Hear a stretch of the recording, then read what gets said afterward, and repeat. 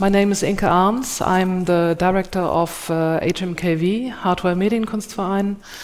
And uh, since uh, mid September, we have this exhibition up and running by Fiona Banner, also known as the Vanity Press. And uh, I'm extremely happy to welcome you, the audience, um, as well as our guests, the artist Fiona Banner, also known as the Vanity Press, and the writer Tom McCarthy which are connected to each other and actually also to me through various and complex links, which we will try to uncover for you tonight. Um, I will introduce both of them in a minute. This year I had the pleasure to curate the Pavilion of Kosovo at the 59th uh, Venice Biennale, and it was there in Venice that I discovered Fiona Banner's exhibition, Pranayama Typhoon, which took place at the gymnasium of Patronato Salesiano, a children's basketball court set within a converted church. This exhibition literally blew me away. It is the exhibition that we are in right now here at uh, HMKV, HMKV in Dortmund.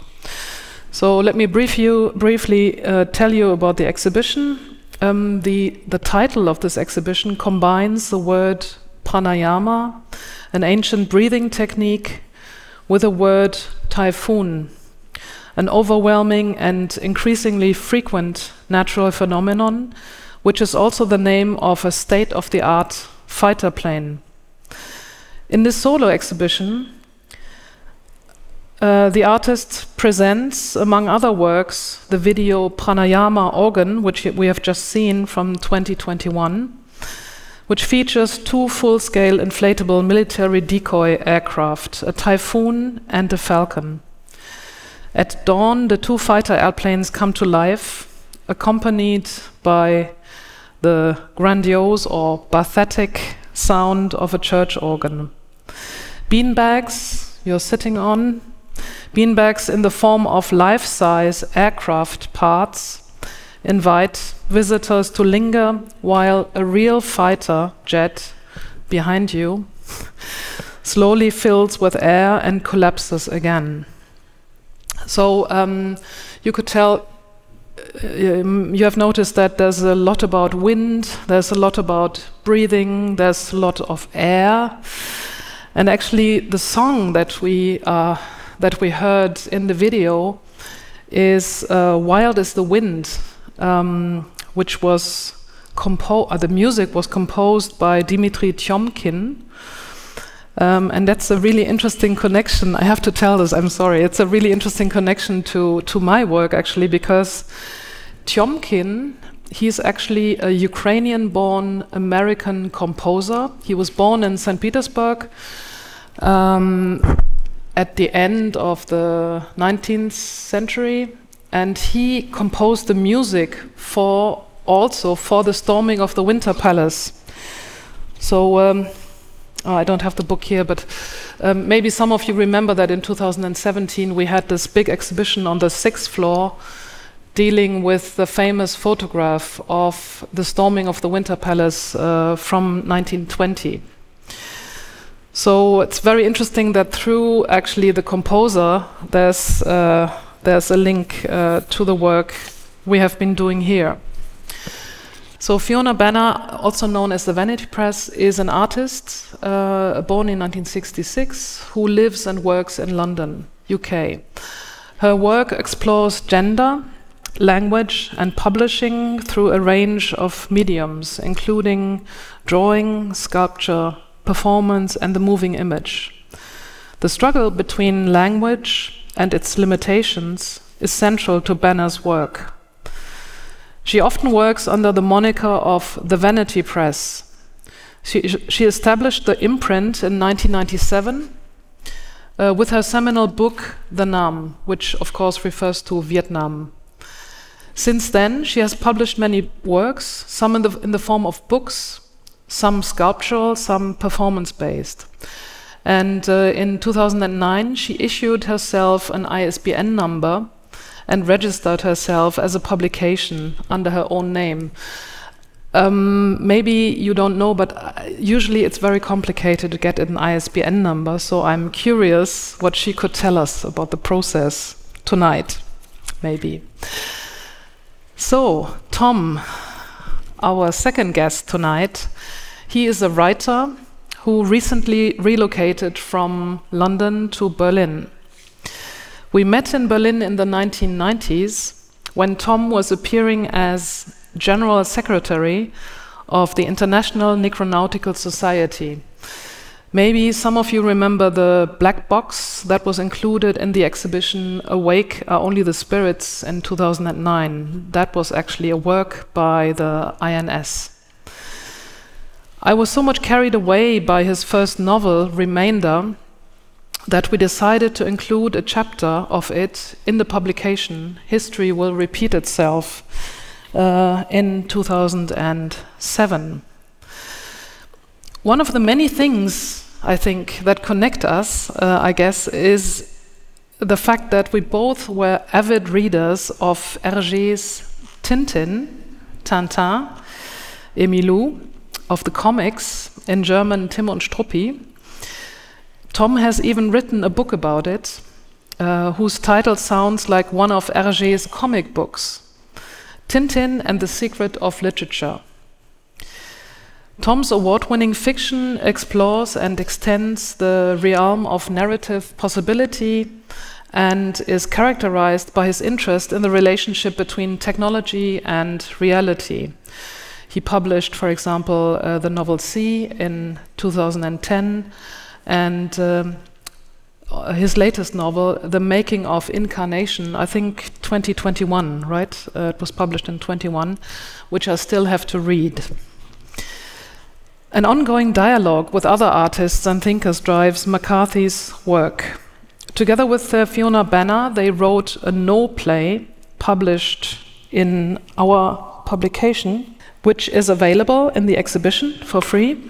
And in uh, 2022, so this year, at the end of this year, he is curating the exhibition Holding Pattern in Oslo's Kunstnernes which in early 2024 will travel to HMKV here in Dortmund. So I'm very much looking forward to the discussion we are going to have, to the dialogue you are going to have. I, if I remember correctly, we will talk about language, we will talk about faith, Glauben, we will talk about typography and landscape, very interesting issue, and also I think we will encounter a pietà. Um, curious what this is going to be.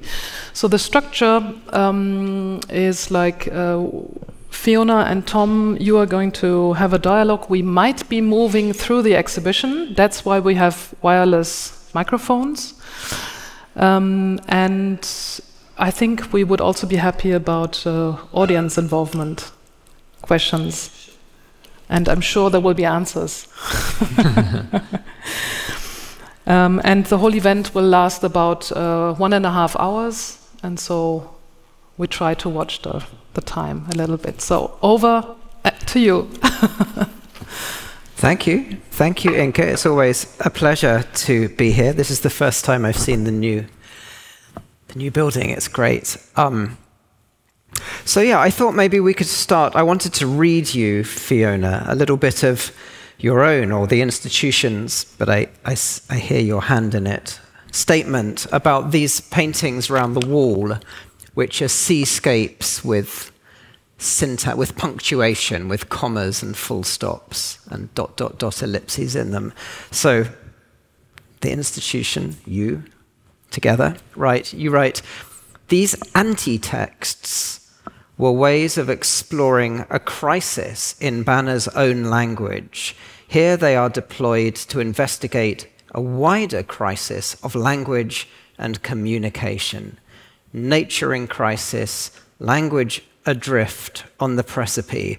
Some paintings about the gulf, comma, between words, period, and action, period. Some paintings that know that the sea is the bottom line, comma, that understand that turning a page is reminiscent of a wave and that a chapter is the tide, period. Some paintings that are a channel, hyphen. All paintings are a channel, period some paintings that understand that the channel is not only a conduit but also a barrier ellipsis. It's, I mean, it's a very, reminds me of William Burroughs or something. It's a wonderful kind of cut up piece of writing. But I think, you know, this is where I want to start. There's an intimate, complex, and very interesting relation in your work between landscape and language. So maybe we could start by talking about that.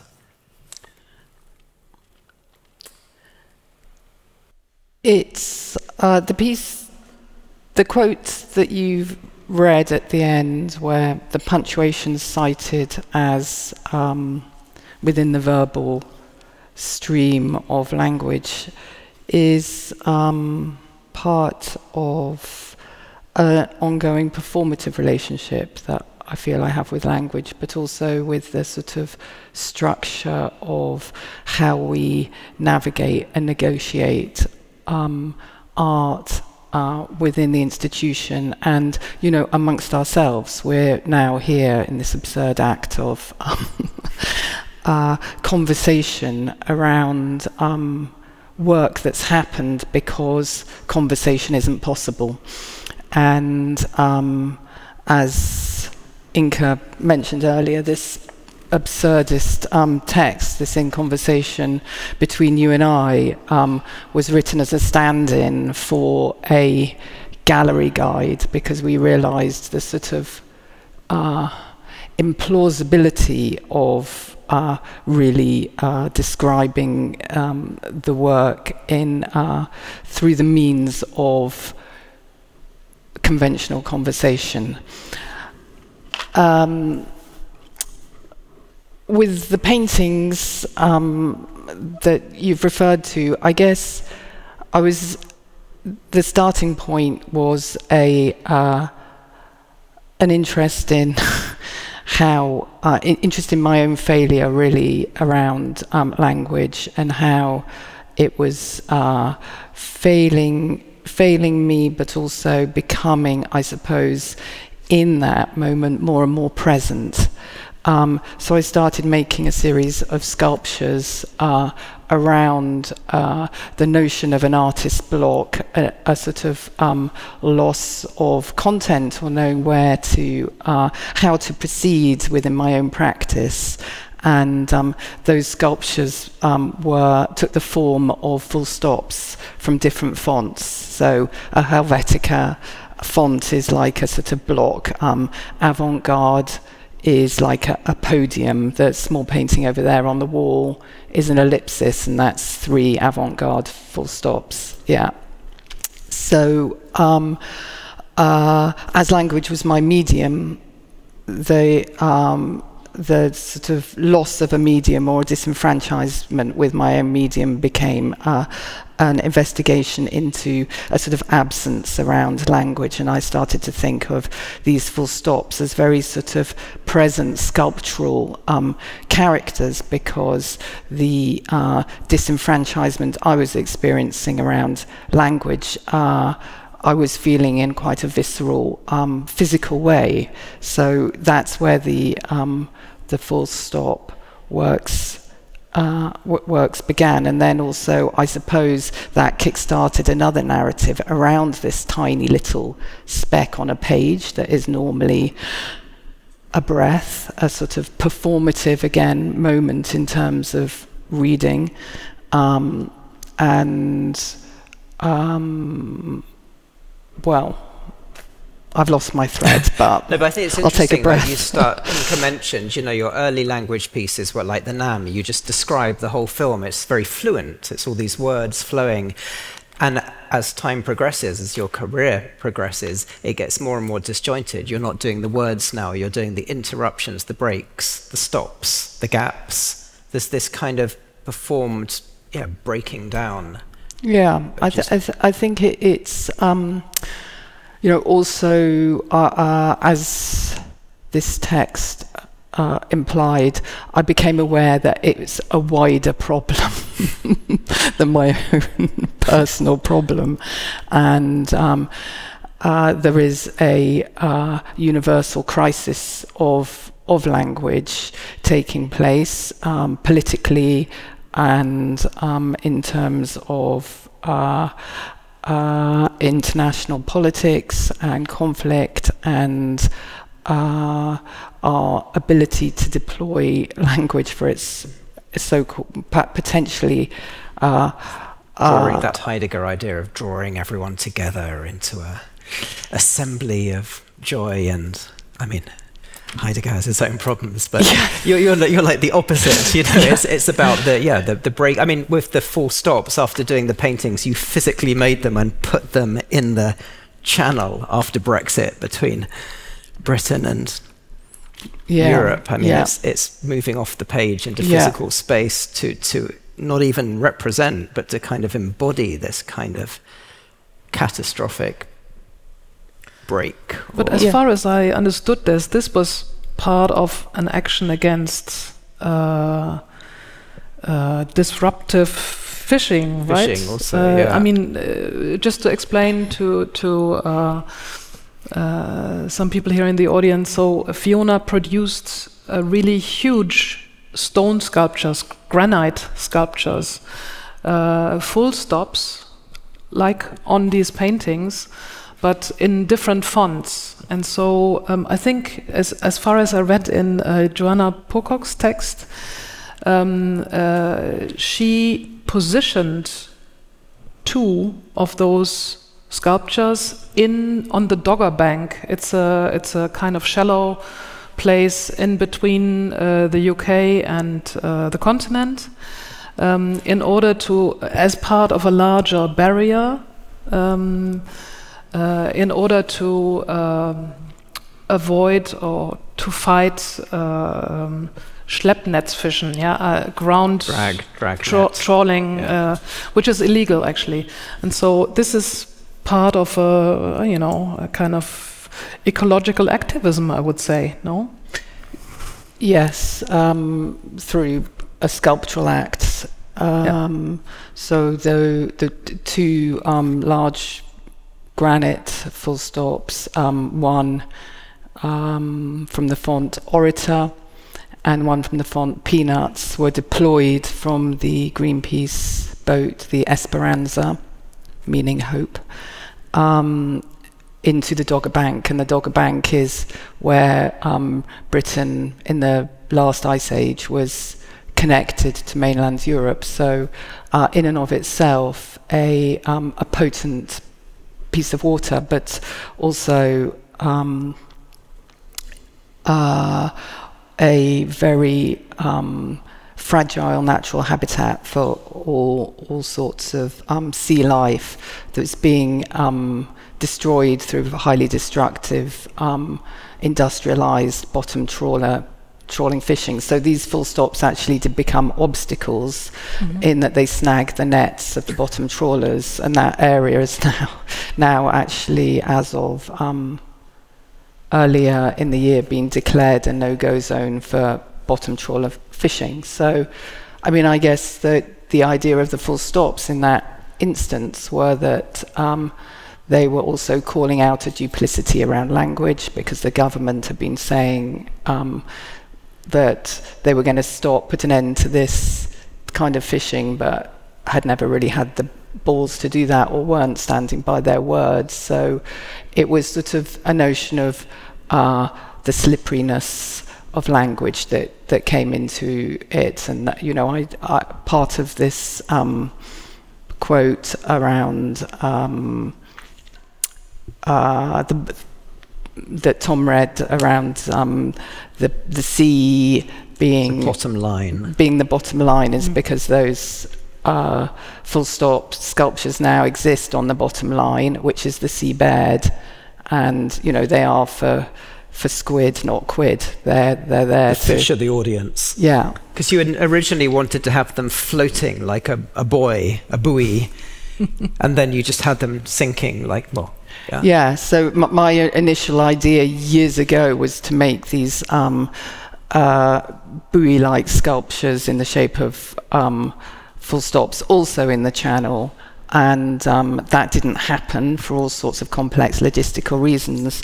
And that's when I started making these paintings um, of the full stops at sea taking on this idea of really what is an event? Is an event something happening? Is an event potentially fictive? It, what is a documentation? Um, what is, you know, what, what, language, through what language do we create a fact? Um, so I, I, in a way, quite playfully started collecting these um, big paintings um, at junk shops and so on and so forth, of, of boats that were really not paintings of the sea at all. They had big um, seafaring vessels, warboats, galleons in them, and then I painted out the galleons and put in the full stops as if this action of mine had happened. But then, curiously, uh, seven or eight years later, it did happen yeah. with the Greenpeace action. I love the sense. I mean, you know, Inke mentioned the, the Vanity Press, which is you. um, I mean, I, I love the sense that you turn the sea into a publishing project, and you turn yourself into a publishing project, which of course is impossible, but that you did it nonetheless. I mean, you kind of said you got these ISBNs, which which you buy on license, and then you said, okay, it's me. I am the book, and you submitted the idea that this was you to the Library of Congress or British Library or whoever. I mean, there's something. I, I mean, there's something very funny and very kind of silly in a wonderful way because yeah. it's impossible. I mean, vanity. Uh, this the word vanity for um, to explain to a German audience the a vanity publishing is when nobody else will publish, so you pay with your own money to publish your own novel. It's, it's vain, it's, it's like it's narcissistic, but it's also um, umsonst, you know, in vain. And of course, in art history, we have, in visual art, we have the whole history of the vanitas, you know, which is always about death, the skull. Think of Holbein's ambassadors, where I don't know, maybe you'd like to reflect on this kind of cluster of, you know, vainness, in vain, narcissism, yeah. you know, something that doesn't work, and so on. Well, firstly, I don't agree that vanity publishing is any more narcissistic than any other um, creative practice. Um, and in many ways, uh, I think what an artist does is vanity publishing, which is to say that you make your work whether somebody wants it or not. And um, so I would stand with that as an act of faith for all the small and big vanity publishers in the world, sort of self-publishing, if you like. Um, and and I guess uh, then I started to think um, about the act of um, exhibiting work as being much like the act of publishing, and realised that really that's what I was engaged with was um, creating and publishing material. And as I'd been involved in making um, books. That was a natural, uh, natural progression, and uh, like many dimensions of my work, it was a deadly serious joke. so, yes, it's you know, uh, for instance, publishing myself under under my own name as as a book, as a publication, and going through all the rituals, um, ritual and um, bureaucracy associated with that um, is a joke, but it's also a performative act of publishing that, uh, to me, perhaps takes on some of the absurdity around uh, myths of uh, self narrative or um, biography, the, the suggestion even that we are, um, of, that there is a history, all of these things. Um, came came into that. So yeah, and your um, bringing in the idea of vanitas is actually just a very clever thing that you've that you've done. it is it is sort of it is there, I suppose, Right. because there is uh, yeah. Well, it's it's kind of present in this work in a weird Yeah. tangential way. Oh, for sure. I mean, that Holbein painting, what the ambassadors are doing in the Vanitas, they're carving up the world into imperial space that they're going to conquer. And I mean, you mentioned the original picture, the original, what these pictures were of when you first bought them before you replaced them with full stops were military ships. I mean, they're, they're not just syntactical ruptures, they're acts of imperial violence. Which brings us, it does obviously bring us nicely to pranayama organ, these fighter planes on the beach. Um, I mean, they are very vain. There's, there's a kind of, they're acting like birds, showing their feathers, inflating themselves. But then you also show the tube, the, the, the artifice, the mechanism behind the pump behind the pump, right? you show the mechanism behind the grandeur. It's, uh, I think there is a critique of a certain type of political or imperial vanity, right? Uh, for sure, that they are um, sort of blown up, Yeah. pumped up, posturing um, beasts, and um, that there's, they sort of reveal their own fragility in Yeah. in their hubris. Yeah. Um, speaks somehow to the uh, pumped up, trumped up, toxic, uber masculine, uh, territorial, uh, territory obsessed politics of our day.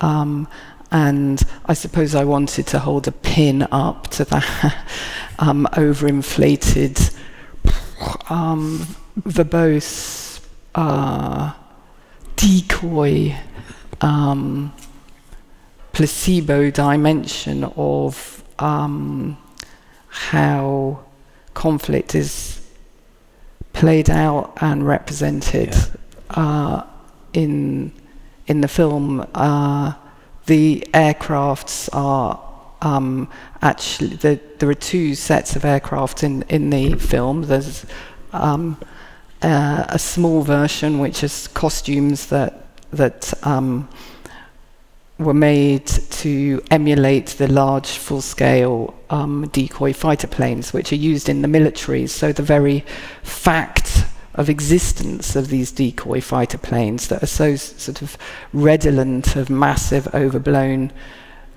children's toys and yet actually are active elements of ideological conquest of um, of conflict um, and inasmuch are extremely dangerous is you know there's an irony there Yeah. and um, a contradiction there and I suppose it's that contradiction that gives the film the energy or Yeah. gave me the energy to make the film It was also incredibly beautiful. I mean, they're very tender. They're right.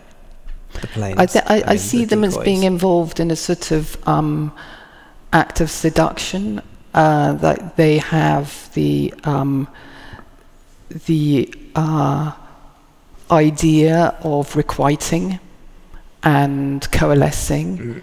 and um, of uh, coming together, but in that they realize, or we realize, that they would be um, emasculating the tools of conflict, and they look at their own demise in Yeah. that process. So. Um, I suppose there's the vanitas. Yeah. Yeah. Um, but I did want the film to be uh, seductive in some ways and um, sort of a love story gone wrong, if you like, which for me connects to our relationship with this very planet at, at this point in time. Um, so uh, the uh, bringing in the song "Wild Is the Wind" was also around that because I see see that song as being about um, not only unrequited love but an unrequited, um, impossible, in fact, quest to um, merge with nature and be at one with yeah. nature. Um, you know, life uh, like a leaf clings to a tree. Oh, my darling, cling to me. It's it's it seems to be very um, entwined with the idea of um, the power and fragility, um, the, the, the, our relationship with nature. Yeah. In that way. But this, I guess, I mean, we can't avoid the fact that it's very directly political as well. I mean, it's interesting. You made it kind of after Brexit, and I think you yourself had seen.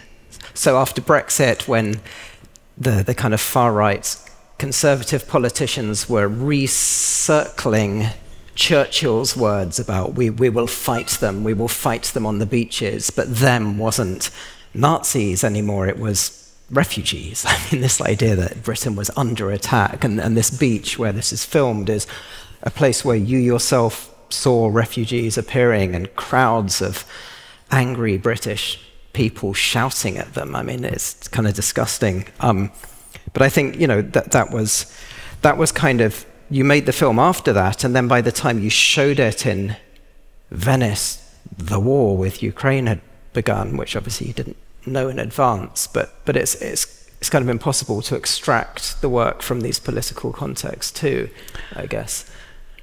Yeah, um, I mean, there will always be a political context, and um, uh, certainly in my lifetime, there will always be uh, a conflict. Obviously, uh, Ukraine is quite close to home in, in many ways.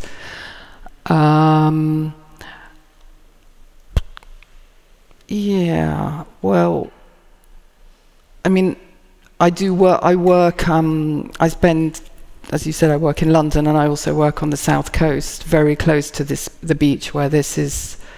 Uh, this film was shot, and the fragility of that coast is um, evident in the actual um, geology of it, but also in that it's this. Uh, uh, bit of channel, very quite a narrow bit of channel between us and the ma- mainland Europe. So, you know, the suggestion that this waterway is about is a conduit yeah. seems somewhat fanciful. Is in- increasingly, it seems like a border and a barrier, and um, uh, that's really sad. Yeah. Um, so I observing that, and then also observing this cliff face falling, Crumbling. literally falling into the sea, and um, that piece of um, beach actually has a ancient uh, petrified forest underneath the seabed. So it felt like it's um, redolent of different ages, different, different coastlines, different yeah, yeah different yeah. times. Yeah and um, that's why I chose that that place to to shoot the film. I yeah. think. I just want to pick up this word you used a minute ago, decoy. it's a really interesting word. I mean, we found out when we were writing this short play together that it comes from duck cage, decoy, duck cage. So it's for hunting. It's a it's to it's to trick a bird into thinking there's another bird it can mate with, so that the hunter can shoot with. And of course, it's also in military, you know, a decoy plane.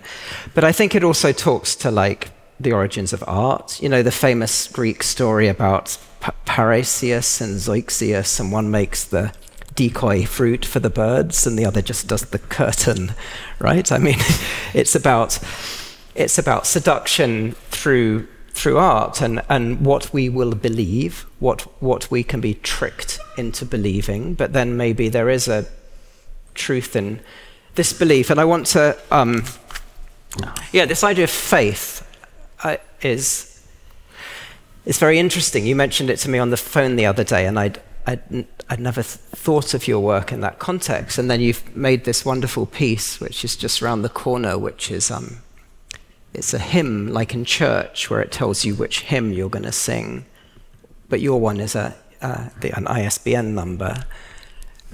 And it's, uh, you think at first it's a photograph, but it's not. Talking of temporality and history, it's a, it's a half hour film where the sunlight moves across it. So there's this kind of immersion. And, but I think it's very much about belief, some kind of belief. I mean, how do you understand faith?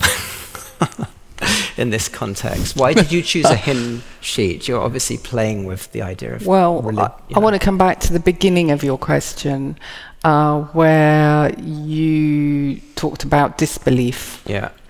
And um, maybe there is some truth in disbelief.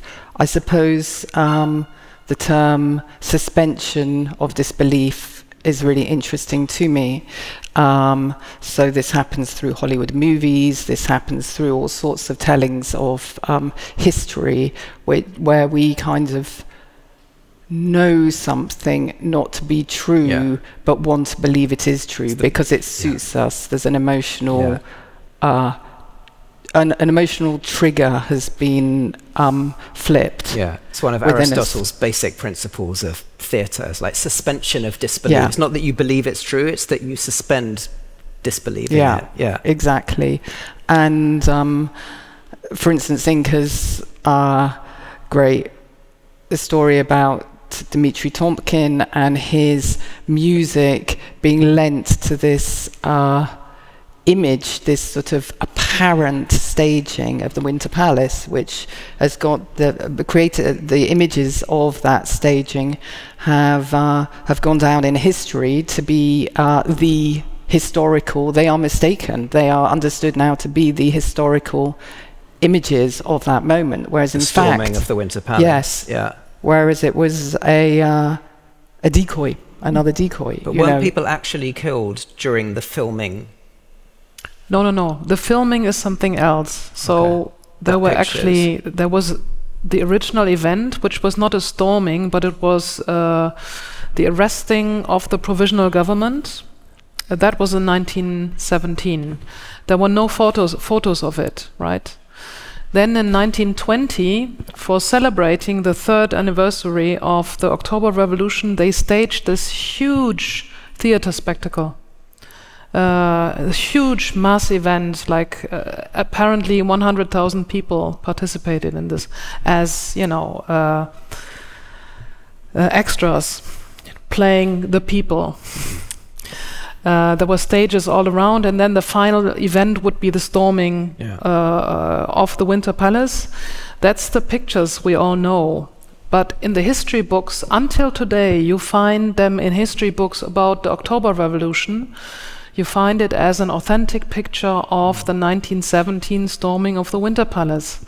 And in a way, and, and then in 27, Eisenstein makes his famous movie, October, uh, again uh, reenacting the reenactment. Mm. So, and in, in, in this very specific case, it's like uh, a theater play becomes a proof for history. Yeah. yeah. This is like what you were saying about the proof of you create the the record of something having happened. Yeah. In order to. Yeah. So when you go on Getty Images to buy, you can buy that image. Yes. Um, the storming of the palace, yeah. and it's considered to be the benchmark reference image yeah. because it it's has the heroism and the, the kind of um, grandiosity that we want to associate. It has the heroism that the original situation didn't have, exactly. and somehow you know uh, Bolsheviki in Russian, of course, means the majority, and so here you finally had an image showing the majority. yeah.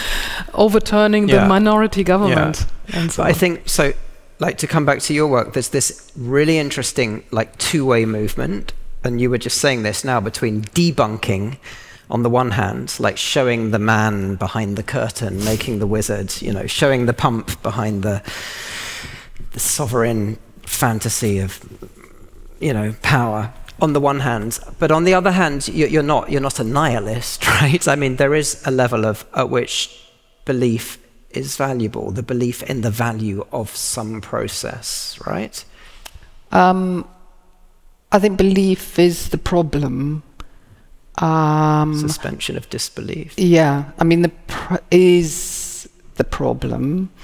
but it's also uh, the the our agency. So obviously, um, there's a conflict there.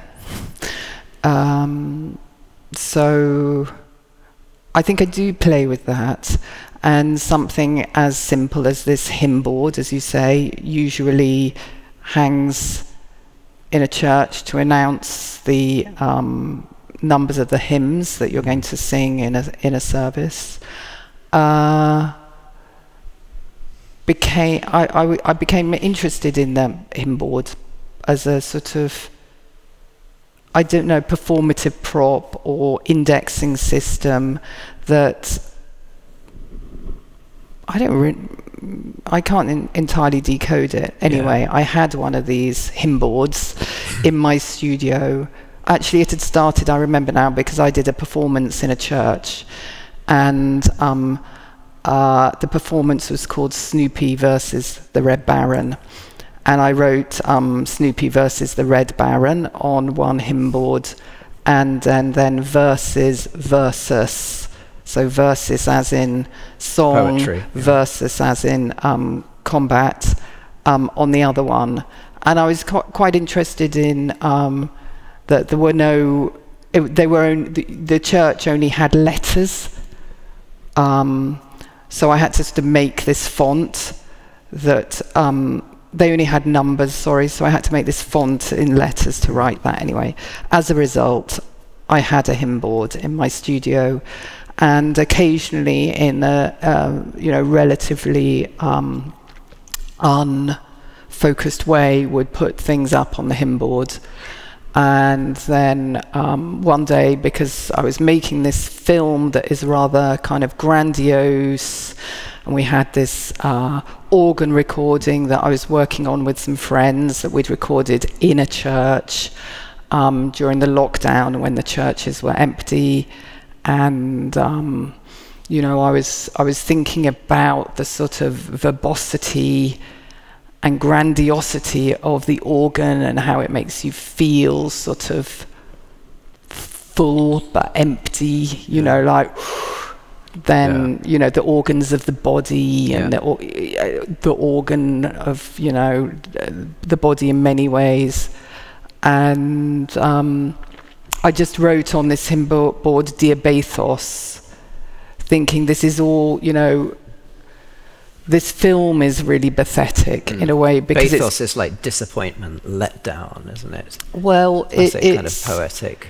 It, it's um, it's disappointment through overambition. Mm. So to me, bathos is when you sort of push um, the emotional.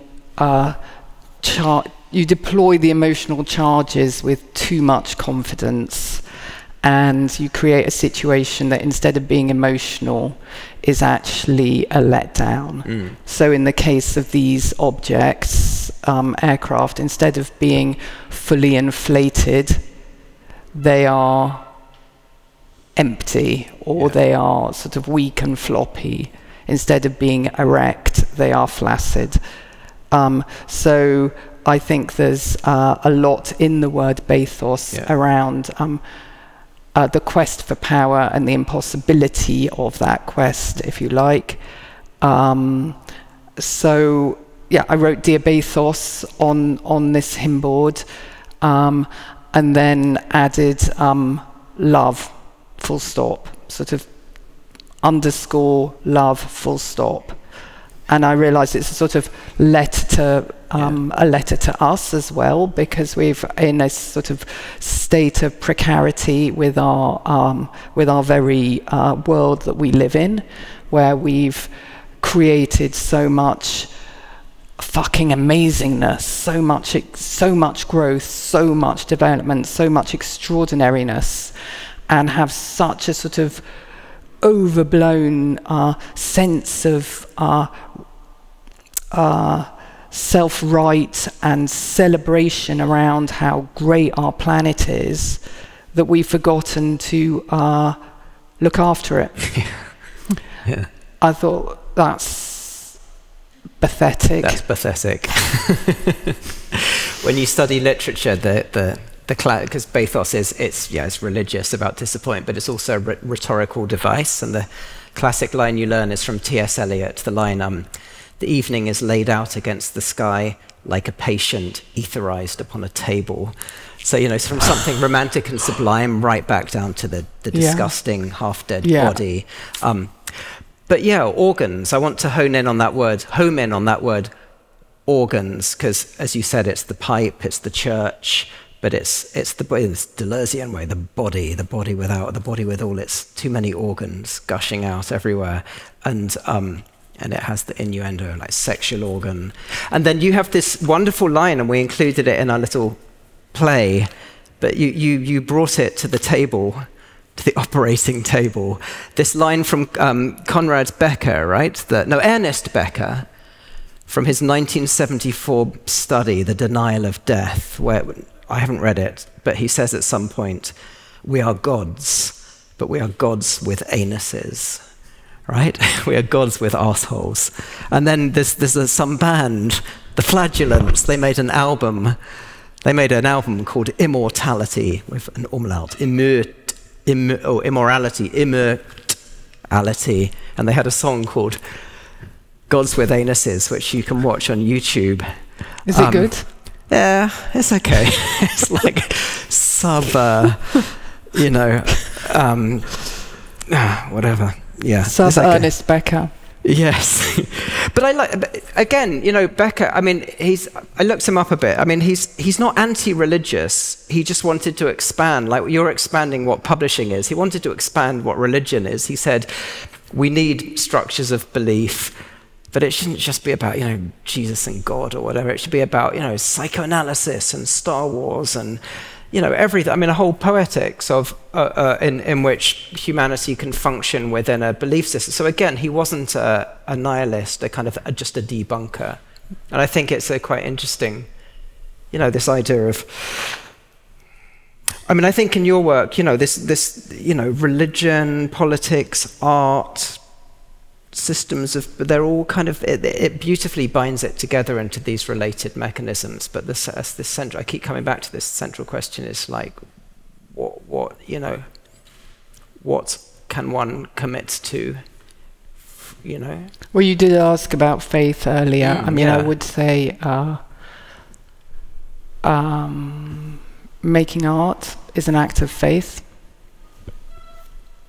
I mean we do all of us in different ways engage in acts of faith because that's who we are as human shaped beings.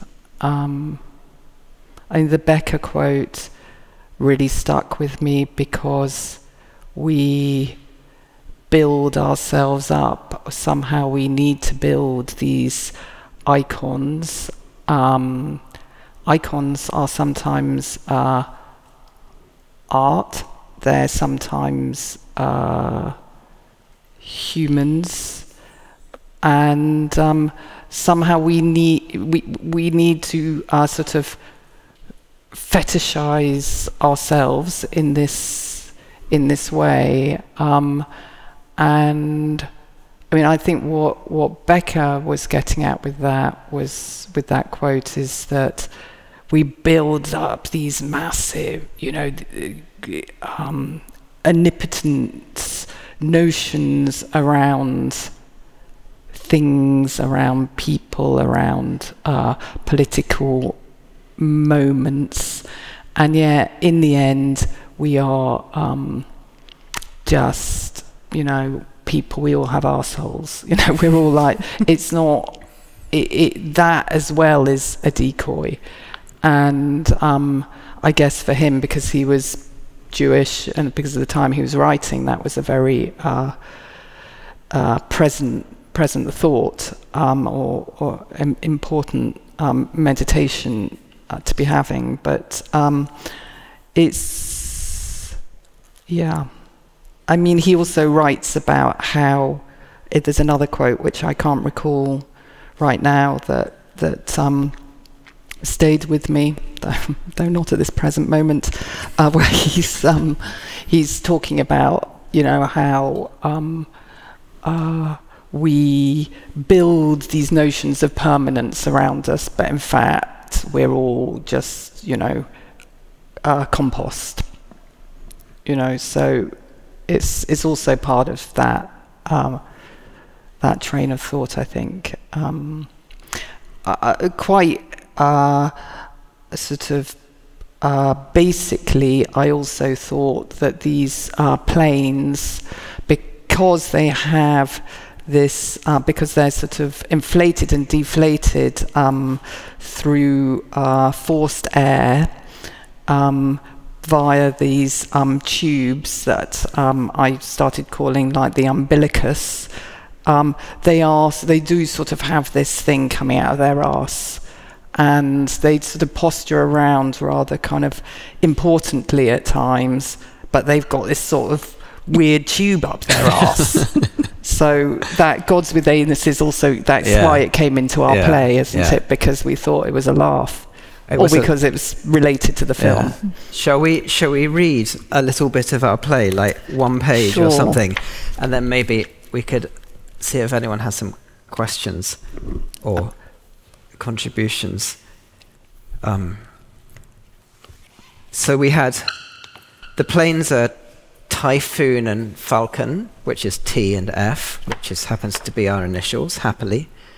So, So yeah. Well, then Tom uh, became the Typhoon T, and I became the Falcon, and obviously um, they're both forces of nature uh, that rather fancy themselves um, because they're both uh, extremely uh, powerful within their own field um, and also quite destructive. I mean, a, a, a falcon is uh, a bird of prey, and a typhoon is obviously a very destructive weather uh, phenomenon.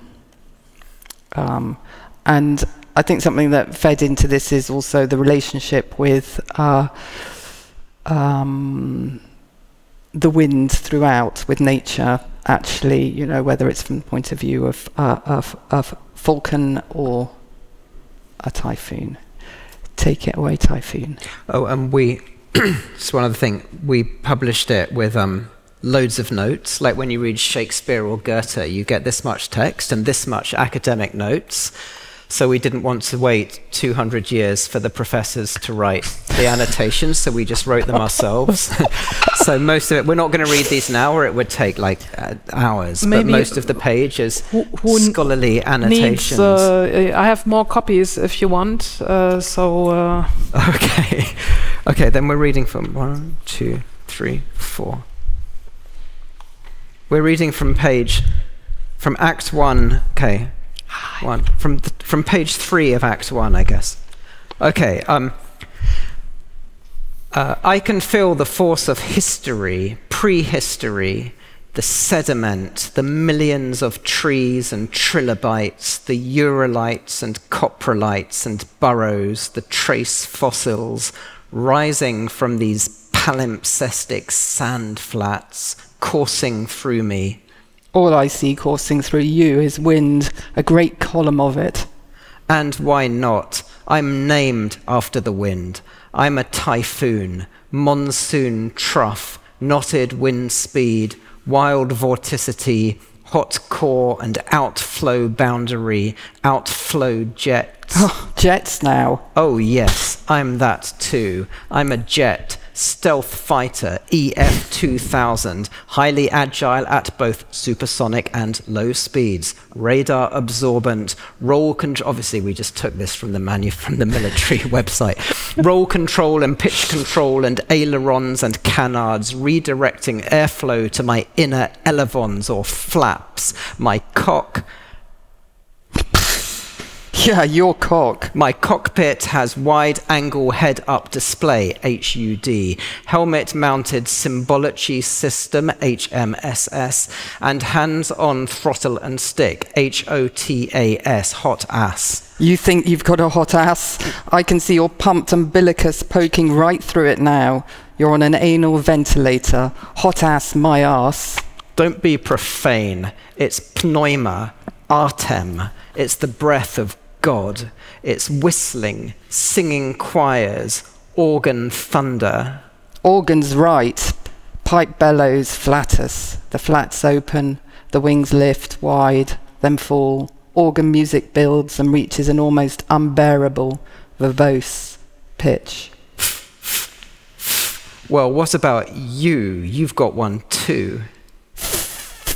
It's my nom de plume, my fine plumage. It's my sartorial throngs, me upholstery, shimmering in the. You're not a chimera, you're a chimera. Up your holstery, indeed.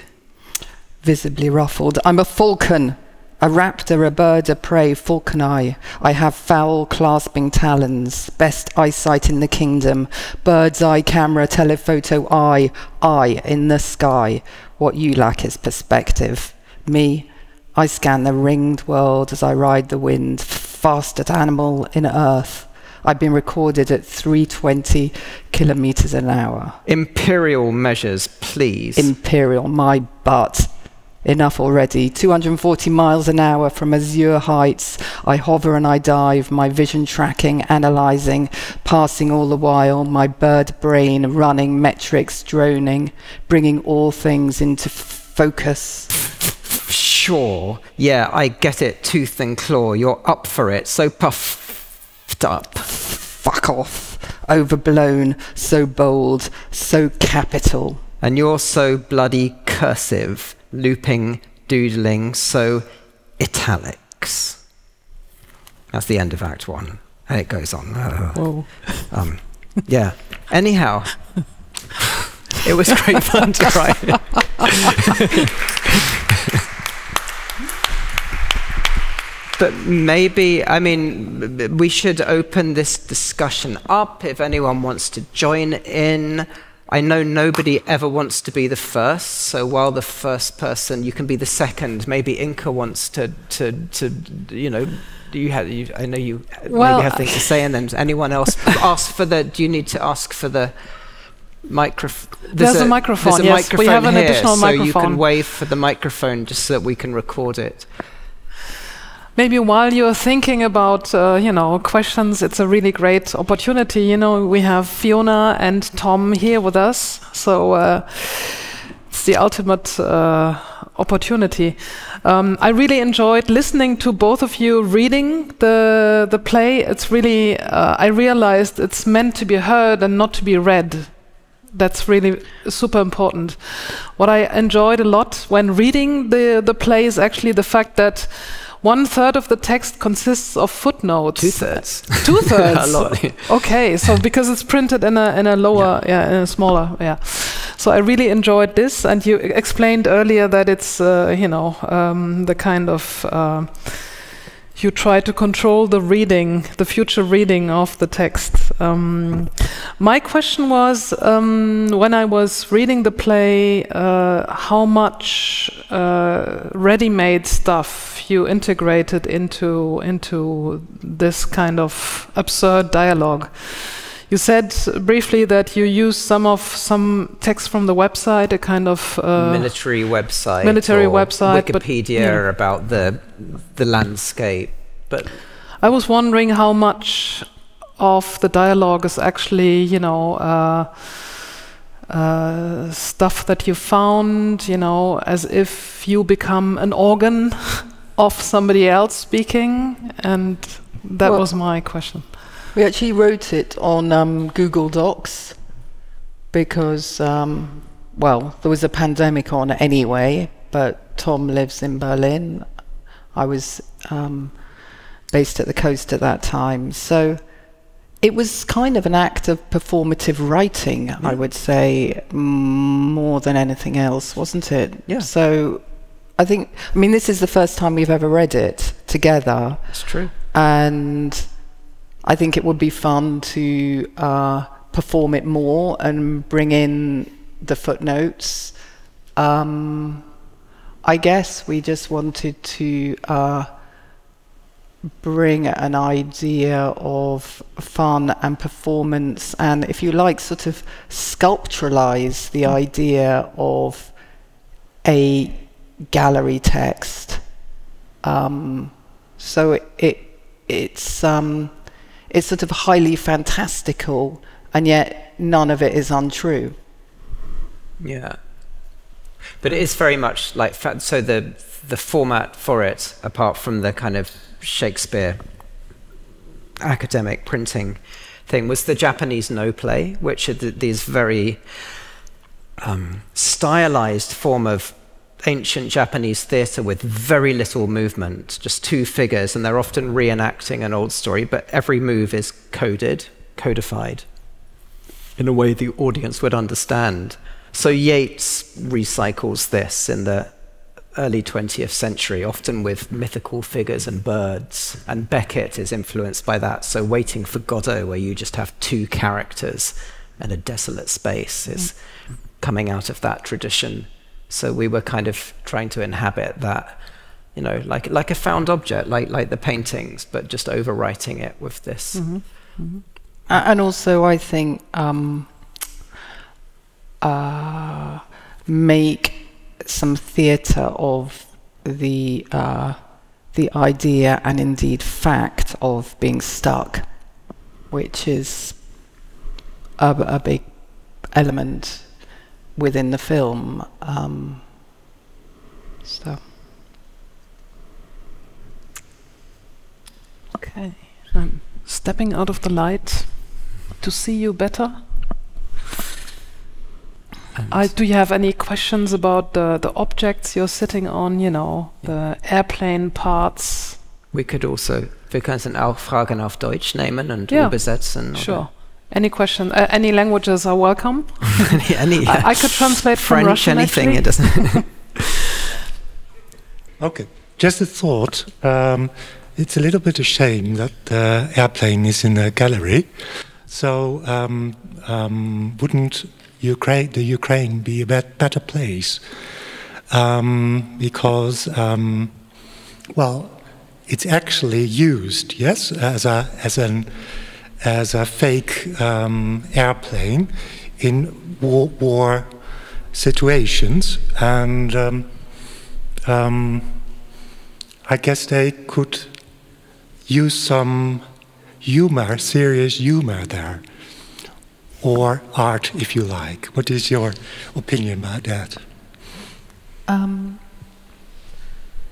when um, when I first showed this film um, it was in um, in Venice, Italy, uh, in the springtime, and the Ukraine invasion was relatively recent, and I did feel, uh, as Tom can attest, because I had a bit of a falcon-like flap.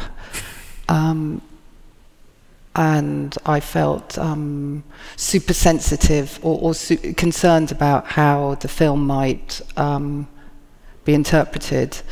Um, of course, I stood by it, uh, and quite a, a lot of Ukrainian people came to Venice and saw the film, um, mainly younger people actually, and uh, I got incredibly strong feedback from from them about the film. They found it very very emotional by by and large, which was um,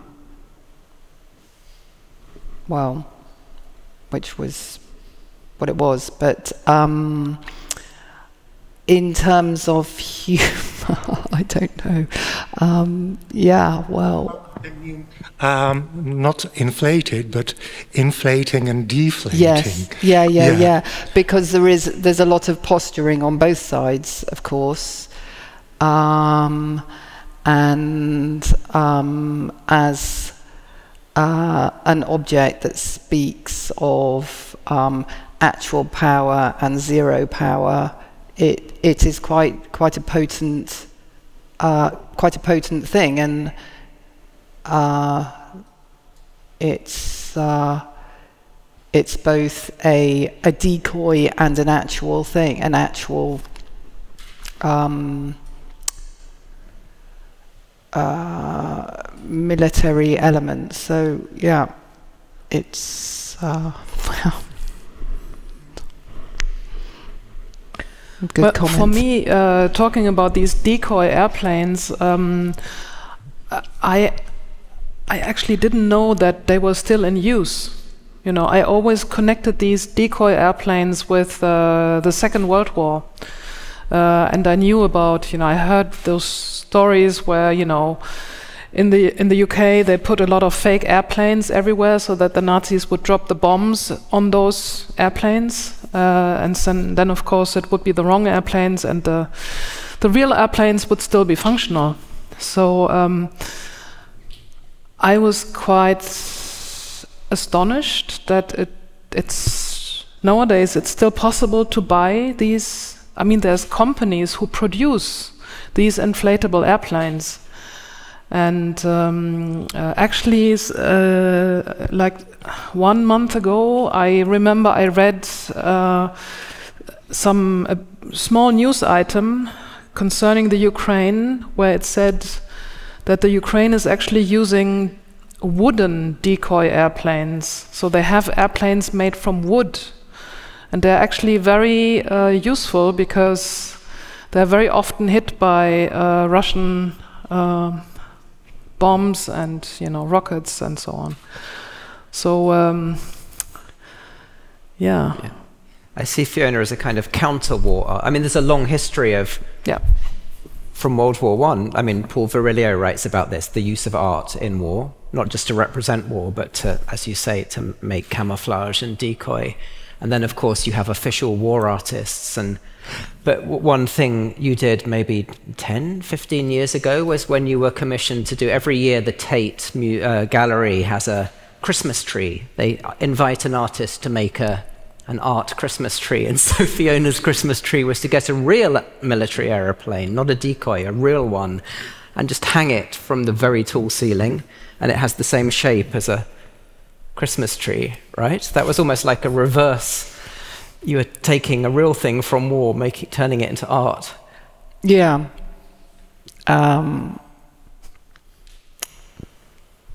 yeah, I, I suppose in that was also uh, recognition of how we fetishize these objects of uh, conflict and they become almost these sort of worshipful, um, strange, um, eulogized objects, you know. Um, so uh, hanging that upside down like that as like a sort of uh,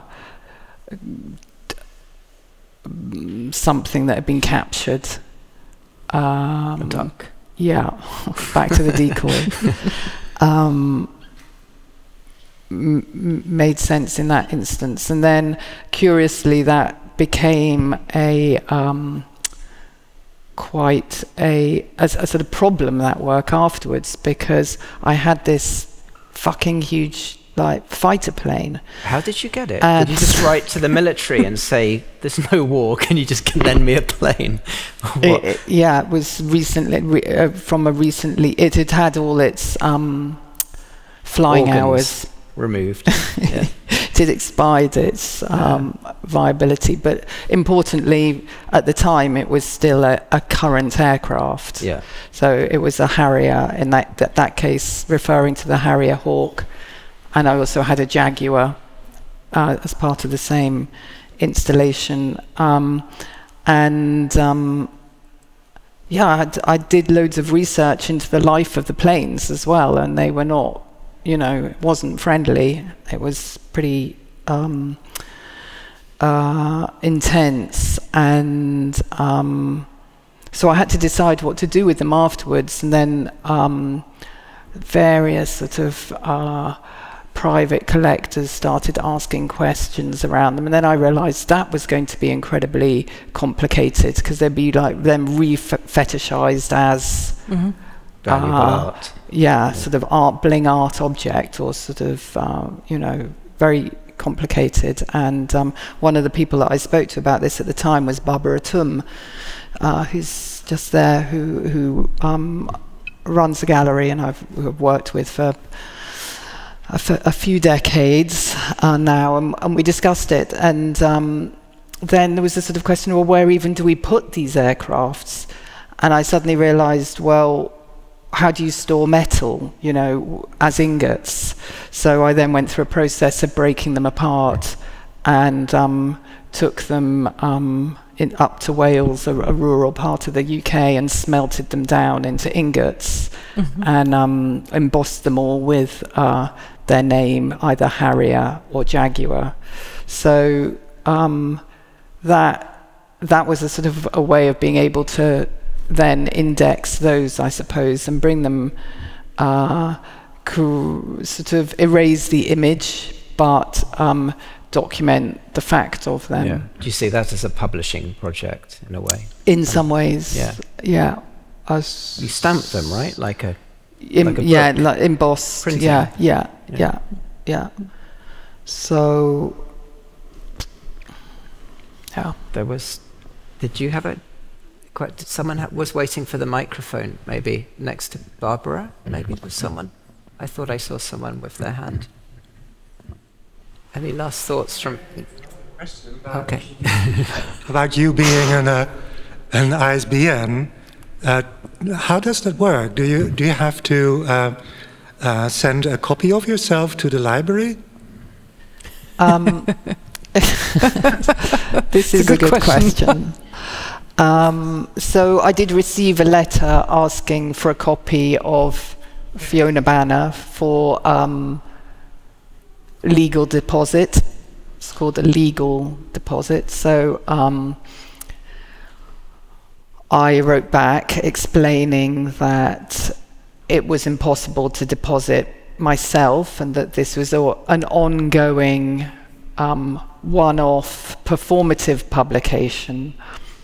And that I'd also published some other works which I discussed. So I, I, published a stone once, which I published under the title of Sleep.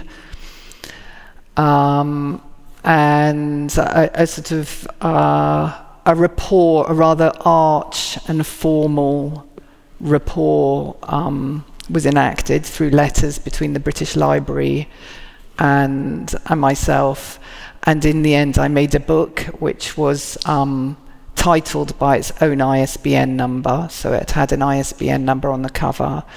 And inside the book were all the forms that I'd submitted for legal deposit and images of the work. And I deposited that, gave that to the uh, British Library.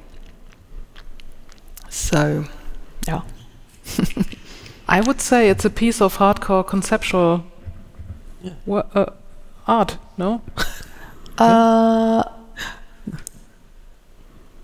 I wouldn't. I wouldn't know. that's it too.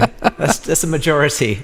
Two out of three. I think it's. I think it's. oh, ma yeah, majority. Okay, so we both voted. It's ultimately um, the that book contained images of quite a few uh, material um, you know, factual objects, but in the end, the, the project's ephemeral.